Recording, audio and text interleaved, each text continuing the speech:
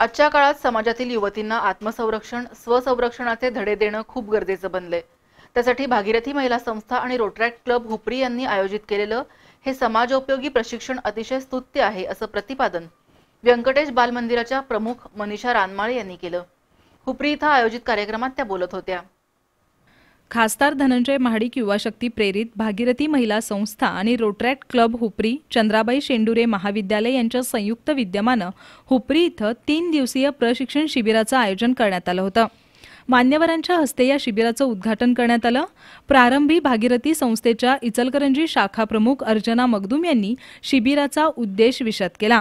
व्यंकटेश बाल मंदिर प्रमुख मनीषा रानमाळे जिल्हा परिषद सदस्य स्मिता शेंडुरे यांनी एकविसाव्या शतकात देखील मुलींना आत्मसंरक्षण करणं खूप गरजेचं बनलंय.